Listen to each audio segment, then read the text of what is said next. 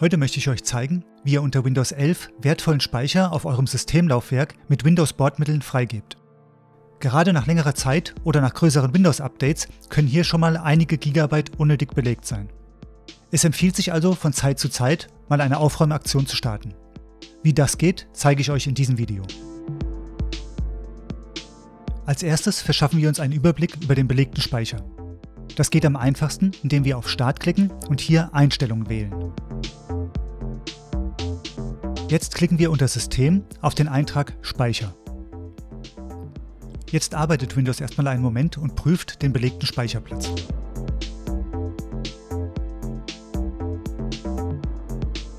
In der Übersicht sehen wir folgendes. Hier finden wir installierte Programme und Windows-Features.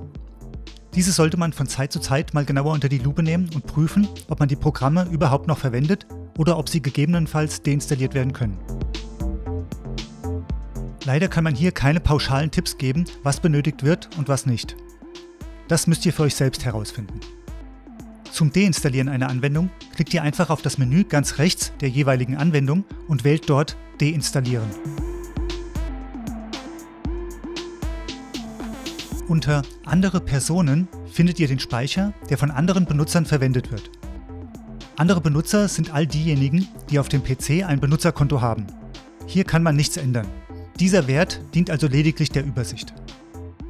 Unter Andere findet ihr Ordner mit Inhalten, die Speicher belegen, aber nicht in eine der anderen Kategorien passen. Auch hier ist es empfehlenswert zu prüfen, ob es eventuell Reste von Programmen gibt, die möglicherweise gar nicht mehr installiert sind. Auch hier kann es vorkommen, dass einige Gigabyte unnötig belegt sind. Um mehr von dem Ordner bzw. dessen Inhalt zu sehen, müsst ihr ihn einfach nur mit der linken Maustaste anklicken. Es öffnet sich nun das Explorer-Fenster, in dem ihr alles weitere sehen könnt und gegebenenfalls die Dateien bzw. den Ordner entfernen könnt. Kommen wir nun zu dem Abschnitt, in dem wir vermutlich am meisten Speicher freigeben können, nämlich temporäre Dateien. Hierbei handelt es sich um Dateien, die von Programmen vorübergehend, also temporär, angelegt werden. Hier findet ihr, wie ihr in der Liste seht, alles Mögliche. Außerdem gibt es für jeden Eintrag auch eine kurze Erklärung. Also auswählen, was weg soll. Nachdem wir alles, was entfernt werden soll, ausgewählt haben, können wir oberhalb der Liste unter Gesamtauswahl sehen, wie viel Speicher nach dem Entfernen der Dateien frei wird. Um die Dateien jetzt endgültig zu entfernen, klicken wir auf Dateien entfernen.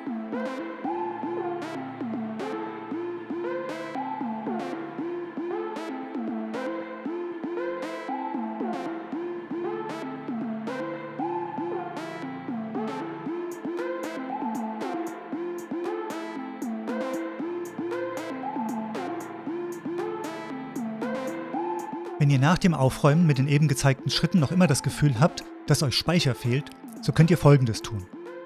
Startet den Windows Explorer, am schnellsten geht das mit Windows-Taste plus E und wechselt auf das Laufwerk, auf dem ihr den Speicher vermisst. Nun öffnet ihr die erste Ebene der Ordnerstruktur, so dass ihr alle Ordner seht, die sich in dem Hauptverzeichnis befinden. Jetzt wird es etwas mühsam, wir klicken nun jeden Ordner mit der rechten Maustaste an und wählen Eigenschaften. In dem Eigenschaftenfenster sehen wir nun unter Größe den belegten Speicherplatz.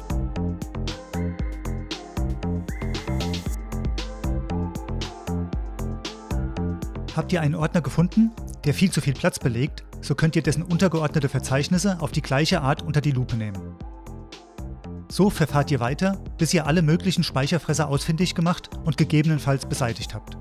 Mühsam, aber unter Umständen lohnenswert.